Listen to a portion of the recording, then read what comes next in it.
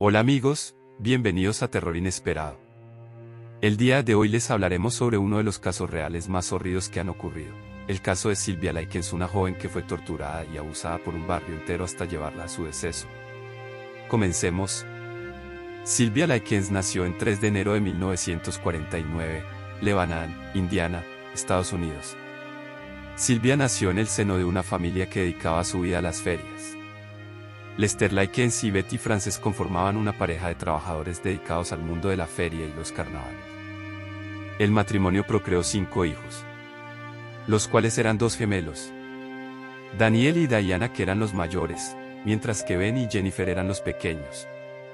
Esta última sufría de polio, una enfermedad muy común y que la obligaba a llevar un refuerzo de metal en la pierna en una de sus piernas. Debido a la condición de su pequeña hermana, Silvia era sumamente cuidadosa a la hora de cuidar de su hermana menor. También era una joven a la cual importaba mucho ayudar a su familia. En el ámbito económico Silvia hizo lo posible por aportar en los gastos del hogar, por lo tanto decidió conseguir trabajo que en su mayoría eran trabajos temporales, tales como cuidar niños.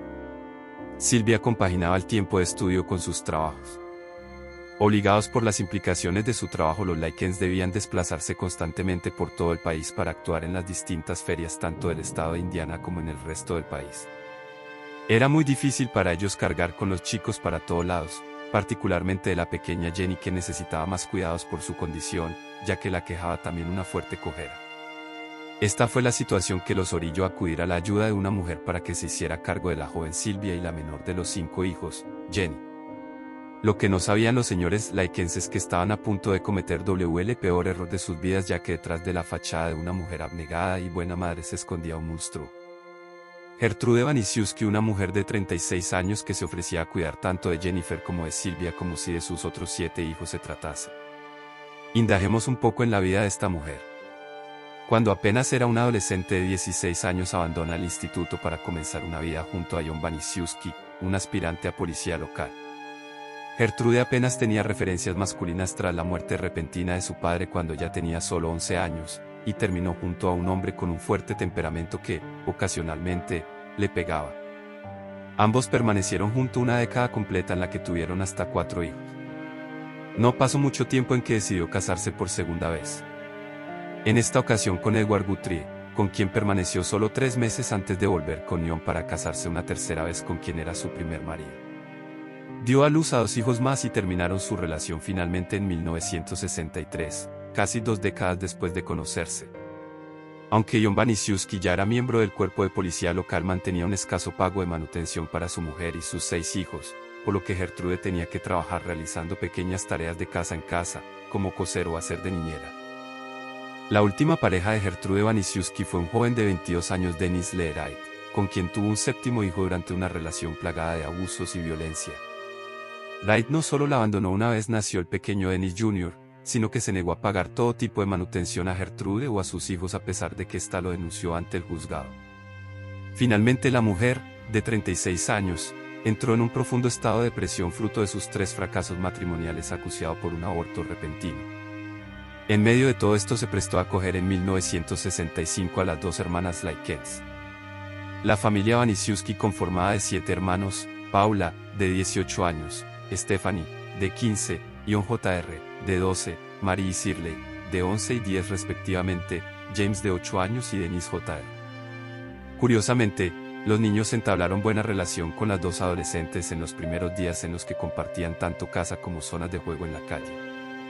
Pronto Silvia conoció a la mayoría de los chicos que componían el barrio, en especial a Richard Hobbs, un chico que le declararía su amor, pero al que la joven rechazó.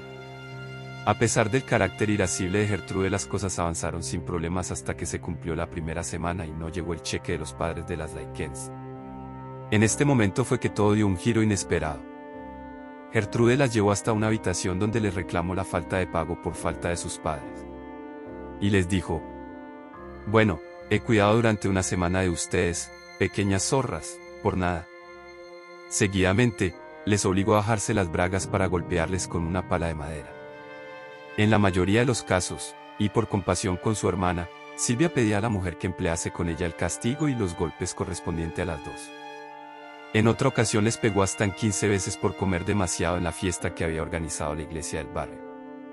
Poco a poco Gertrude comenzó a arrastrar a sus propios hijos a los tratos deshumanizantes hacia las chicas.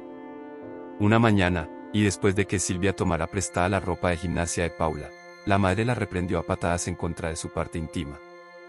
No ha hecho nada, gritaba su hermana pequeña mientras intentaba protegerla desesperadamente sin obtener que esta mujer parara. Richard Hobbs, un joven que se le había declarado a Silvia al llegar al vecindario como Cuijabar comenzaron a ser habituales en el domicilio, entre otras cosas, la relación sentimental que Javar mantenía con Stefan Ivanisiuski. Además, el joven practicaba el judo de manera habitual, por lo que Gertrude le animó tanto a él como a otros niños del vecindario a practicar los golpes que aprendían con el cuerpo de Silvia, tratándola como un saco de boxeo. Así, empezaron, no solo a golpearla, sino que le produjeron hasta un total de 100 quemaduras de cigarrillo, como también múltiples heridas en los genitales. Una de las técnicas que más utilizaba la mujer, era decirles a sus hijos que la pobre Silvia le insultaba para así incentivar el abuso hacia ella. Poco a poco comenzó a manipular a su hijo de 12 años, Ion Jr., para que fuera su principal cómplice en los maltratos. En más de una ocasión, madre e hijo recogieron los excrementos del pañal del pequeño Dennis Jr. para introducírselos a la joven en la boca. Entretanto, Gertrude encontró una forma de sacarle provecho a los abusos. Empezó a cobrar 5 centavos a cada niño del vecindario por quedarse a solas con la joven para continuar con los abusos. En consecuencia de cientos de golpes Silvia terminó desarrollando incontinencia urinaria, por lo que mojaba la cama con frecuencia. Gertrude terminó pidiéndole a su yerno, Coy que llevara a la joven hasta el sótano, donde viviría a partir de ahora atada a una viga y solo junto a un colchón inmundo. La terapia perversa de la mujer consistía en privarle de la comida y la bebida para así evitar que mojase la cama. Circunstancia que aprovechó el joven Ion para jugar con ella, bajaba un plato de sopa y le tentaba mojando sus dedos para ofrecérselos. Laikens, desnutrida y deshidratada, intentaba lamer, pero el niño retiraba rápidamente las manos torturando no solo física sino psicológicamente a la inocente chica. El tiempo pasaba y nadie parecía darse cuenta o simplemente no quería. Fueron tres las ocasiones en las que la policía casi descubre las fechorías de los Banisweski. La primera de ellas fue en una de las ocasiones en las que los padres de las dos chicas, Lester y Betty Laikens fueron a visitarlas. Aunque su hija presentaba heridas ocultas nunca reveló ambos los abusos que sufría por temor a peores represalias por parte de Gertrude. La propia Jennifer tampoco se atrevía a hablar por su hermana bajo la amenaza de su niñera de que recibiría los mismos golpes y humillaciones que Silvia. ¿Qué vas a hacer ahora? le respondía la matriarca de los Banisweski a la niña en el momento que los padres salían de casa. La segunda ocasión fue el Instituto Técnico de Arsenal el que recibió la llamada del padre de uno de los compañeros de las niñas, Michael Leon Moore, avisando de que Silvia solía presentarse en el colegio con heridas abiertas por todo el cuerpo. Cuando una enfermera del colegio se presentó en la casa, Gertrude alegó que la joven había huido, tachándola de lo peor, dejando la imagen de una joven promiscua y descontrolada que llevaba semanas implantando en la cabeza de sus vecinos. Está fuera de control, mencionaba la matriarca. Sobre las heridas, eso sí, argumentó que se debían a una profunda falta de higiene, algo evidente teniendo en cuenta que la adolescente vivía en el sótano de la casa. Ningún vecino se atrevía a preguntar por Silvia, puesto que la consideraban una mala influencia para sus hijos. En una última ocasión, tanto Silvia como Jennifer encontraron a su hermana mayor Diana junto a Marie, la hija de 11 años de Gertrude. En esa ocasión, ninguna de las dos dijo nada, sino que se limitaron a suplicarle por algo de comer ante las penurias que estaba viviendo Silvia. Con extrañeza y sin sospechar, Daniel, ya mayor de edad, le compró un bocadillo a su hermana pequeña, como si de un gesto rutinario se tratase. Aunque Marie no dijo nada en ese momento, sí que avisó posteriormente a su madre, que castigó de nuevo a Silvia, esta vez por glotonería. La mujer metió a la chica en una bañera de agua hirviendo y, cada vez que perdía el conocimiento, golpeaban su cabeza contra la pared para despertarla. La siguiente ocasión en la que Silvia y Jennifer se encontraron a su hermana mayor, decidieron avisarle de los abusos a los que estaban siendo sometidas en la casa de los Banisweski. Pero, para desgracia de las niñas, su hermana no les creyó y sería en otra ocasión cuando el mundo se enteraría de lo que estaba ocurriendo en Indianápolis. Pocos días después de lo sucedido con la botella de Coca-Cola, Gertrude llevó a Silvia a la cocina, donde le ordenó que se desnudara delante de sus hijos y de Richard Hobbs. La conversación empezó a derivar en temas relacionados con los tatuajes, por lo que la mujer tuvo una idea, ordenó a su hijo Ion agarrarle los brazos mientras, con una aguja ardiendo, le marcaba en el pecho la frase, soy una próstita y estoy orgullosa de ello. Al día siguiente, esta monstruosa mujer, tenía ya un plan en mente. Le obligaría a la joven a escribir una carta a sus padres confesándoles que pretendía marcharse de la casa de Gertrude de la mano de unos chicos que pretendían mantener relaciones con ella. Después, encargaría al pequeño Ion que abandonara su cuerpo en el bosque para que muriese de inanición. La chica lo oyó e intentó huir por la puerta delantera de la casa antes de que fuera sorprendida por su carcelero, Coijabart, que volvió a atarla a las escaleras del sótano antes de propinarle una golpiza en la cabeza con la barra de la cortina. Silvia cayó al piso y quedó inconsciente, creían que solo se encontraba desmayada incluso que estaba fingiendo pero en realidad la vida de esta joven se había apagado. Silvia nunca se recuperó de los golpes a pesar de los intentos de los hijos de Gertrude por reanimarla. En un instante de frustración y miedo la terrible mujer aporreó el cadáver con un libro mientras gritaba, falsa, falsa.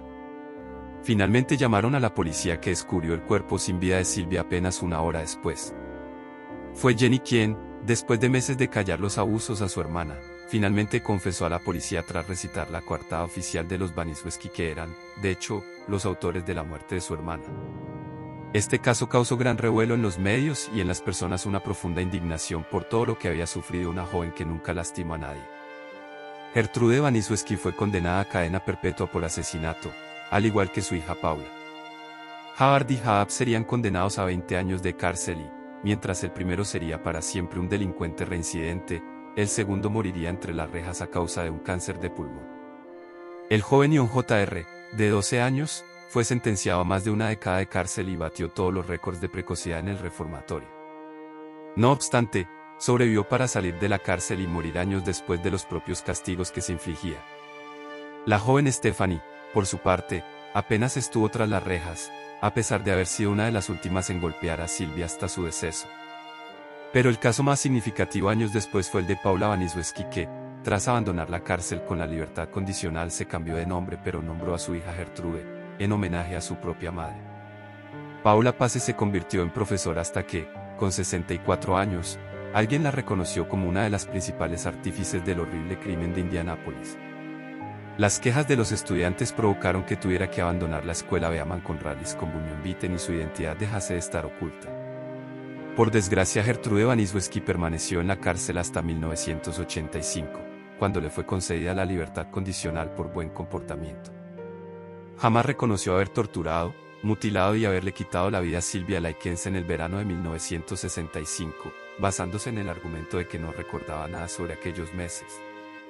Según aseguraba, en esa época estaba bajo el efecto de un fuerte medicamento contra el asma y murió solo cinco años después de un cáncer de pulmón en Iowa. El caso de Silvia inspiró varios libros y dos películas tituladas La chica de al lado y American Crime, sino que, se construyó un monumento de granito en la comisaría de Indianápolis, desde 2001, que nos recuerda el calvario que puede llegar a vivir alguien en silencio, alguien tan inocente que tenía una vida por delante y que todos sus sueños le fueron arrebatados de las maneras más crueles por las que alguien puede pasar. Bueno amigos, esto ha sido todo por el video de hoy, no olviden dejar su like, suscribirse y comentar qué tipo de videos les gustaría ver. Nos vemos hasta el próximo video.